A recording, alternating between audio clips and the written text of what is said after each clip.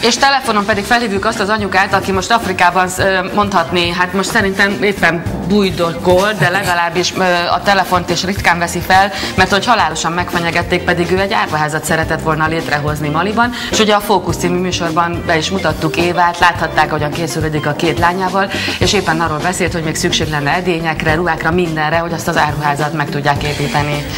Ha minden igaz, akkor itt van a vonalban, de közben mi helyet változtatunk itt a stúdióban mert hogy itt van velünk Balog Sándor, az Afrikai Magyar Egyesület elnöke is. Jó reggelt kívánunk, Sándor! Jó reggelt kívánunk, Akkor Sándor. mielőtt önnel beszélgetnénk, kapcsoljuk tehát Tamásiné keresztes Évát. Önkéntes, haló, jó reggelt, hall minket?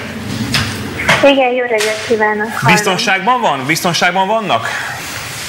Igen, igen. Milyen, milyen körülmények között van most? Honnan, honnan telefonál? Honnan tudunk most beszélgetni? Egy magyar barátunknál vagyunk. Uh-huh.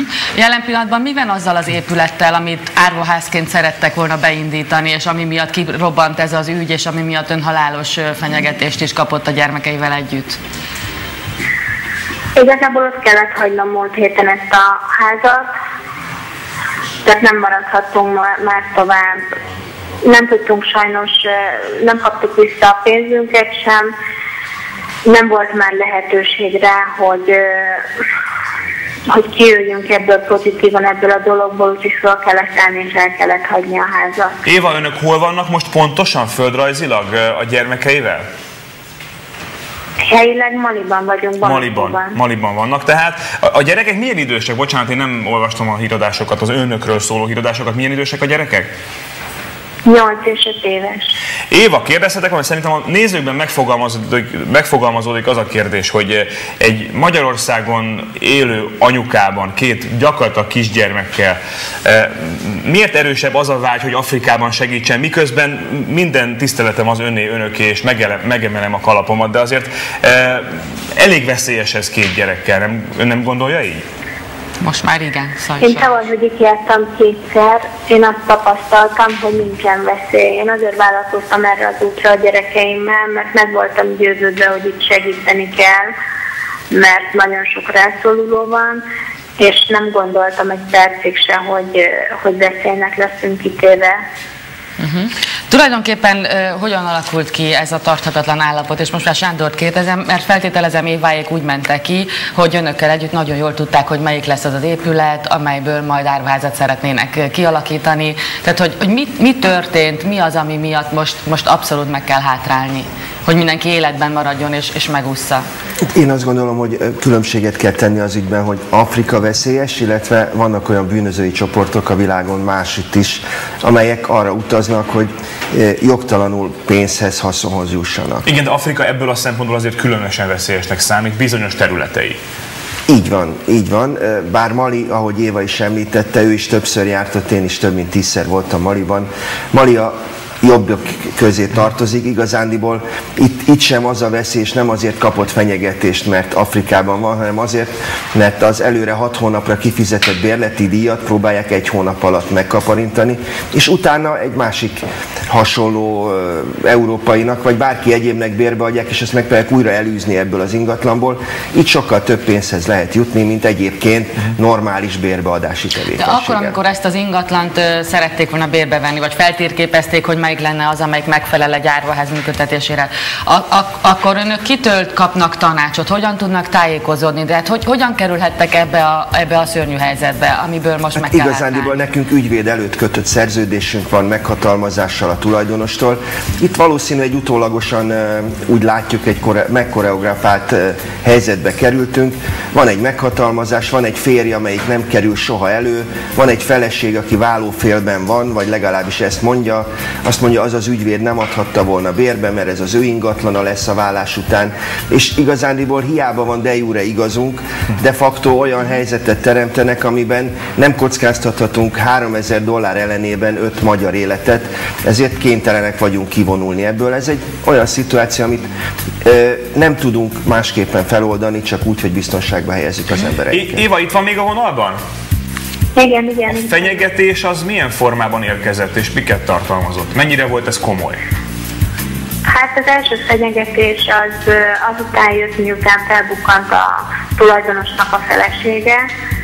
Igazából ez telefonon jött így az első, hogy hagyjuk abba ezt a munkát itt, és menjünk el innen, különben nem jutunk ki erre Maliból. Tehát ez volt az első. Hát igen, abban az országban, ahol azért fegyveres csoportok garázdálkodhatnak, vagy vannak bizonyos területei, az ember ezeket a fenyegetéseket nyilván komolyan veszi, vagy komolyabban veszi. Igen. Ugyanakkor meg tegyük hozzá, hogy, hogy, hogy sok tízezer, vagy, vagy több százezer gyerek lehet egyedül árván az utcán, vagy már a, ugye a AIDS-ben, vagy mindenféle harcokban a szülők meghaltak. Tehát, hogy, hogy abszolút fontos, és vit- vitathatatlanul fontos munkát vállaltak volna, sajnos most így kell beszélni. Most mi lesz ennek a folytatása? Tehát, hogy azért itt, itt olyan szép tervekkel ment ki, hát ugye ezt a fókuszban is láthatták a nézők. Igazándiból az Afrikai Magyar Egyesület már három éve támogat különböző árvaházakat Maliban. Több mint 300 gyereken segítettünk az utolsó három évben. Ezt szerettek volna a saját kezünkbe venni, mert más támogatott árvaházaknál vagy intézményeknél sokszor nem értettünk egyet a pedagógiai módszerekkel, vagy nem értettünk egyet például a lányoknak a kezelésével, hisz Maliban a lányoknak nem rózsás a helyzete, sokszor azt a két-három dollárt, amiben amiért ö, az anyakönyvi kivonatot ki lehet váltani, nem szánják egy lánygyermekre rá. Volt olyan esetünk is, a, a kollégák elmondása szerint, ahol a férfi, tehát a családfő, ha dönteni kell az ügyben, hogy melyik gyereket gyógyítassa, melyiknek vegyen gyógyszert, akkor a lánygyermek marad az, amelyik nem gyógyul, és volt olyan eset is, amiben ebbe bele is Hát nem halt. véletlen talán, hogy egy két, két kislányos anyuka vállalta azt a Így van. feladatot, hogy ő egy árvázat létrehoz. Pontosan. Bár azért apaként hozzáteszem, hogy nem biztos, hogy azok a pedagógiai módszerek is megfelelőek, hogy tudni egy 5 éves kislányt ennek a soknak teszek ki, hogy látja azt, ami ott kint van. Amellett, hogy ez is az élet és a valóság része sajnos, és ezzel együtt kell élnünk. Önök az Afrikai Magyar Egyesületnél, amikor jelentkezik egy önkéntes, akkor elmondják a, a lehetséges veszélyeket?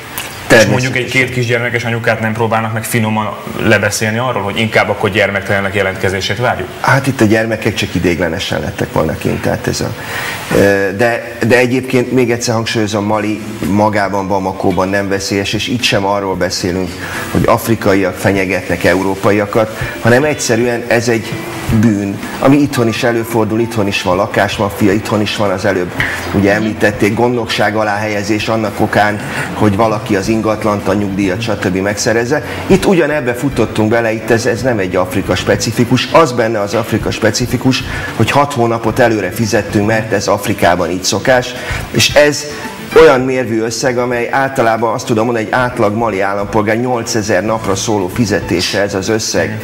Na most ez az, amit érdemes megszerezni, és ezért sok mindenre hajlandóak azok, akiknek ez a kezébe kerül. Hozzáteszem egyébként, bocsánat, hogy a Bamakóval és Malival kapcsolatban a külügyminisztérium valószínűleg nem véletlenül adta ki azt a figyelmeztetést, amelyet kiadott még a Bamako rally elő- előtt, hogy tudnélik komoly veszélyek Ugyanakkor mégiscsak már két Bamakorali résztvevő érkeztek meg szerencsésen Maliba, és vittek oda rengeteg adományt, ami fontos a napkollektortól kezdve, vagy a tehát amivel ők áramot tudnak, vizet tudnak fejleszteni. Éva, még egy utolsó kérdés, és szeretnék most az ön mellett kampányolni, mert Zoli most ugye apai szívvel egy kicsit azt mondta, hogy ez felelőtlenség. Én féltem önöket. Közben meg azt mondom, hogy a gyereknek ott van az anyukája mellett a helye, bármit csinál, hogyha fölmászik a Himalájára, akkor is talán, de ezt ön sokkal jobban tudja a szociális munkásként is. Mikor és hogyan tudnak hazajönni? Megvan-e már a menekülési útvonal? Igen, jövő héten kedden érkezünk haza este, úgyhogy 9-én már otthon leszünk. És visszamenne valahová Afrikán belül, vagy van már következő terve, feltételezem van? Ö, Megmondom őszintén, ö, amit tudtak, sajnos elvettek itt tőlem. Nagyon sok hitet, reményt, álmot, amit, ö, amit magam, magam terveztem. Egyelőre most az, hogy hazamegyünk, hazamegyünk a férjemhez, és egyelőre maradunk otthon. Hát minden jót kívánunk önnek, és reméljük, hogy amikor hazajött, akkor személyesen is találkozunk. Mindenképpen ide várjuk a Vigyázzanak stúdióba. magukra nagyon. Köszönjük, Köszönjük szépen, Jó, elnök úr. nagyon szépen köszönöm. Köszönjük. Köszönjük szépen köszönjük. önnek, és minden jót kívánunk.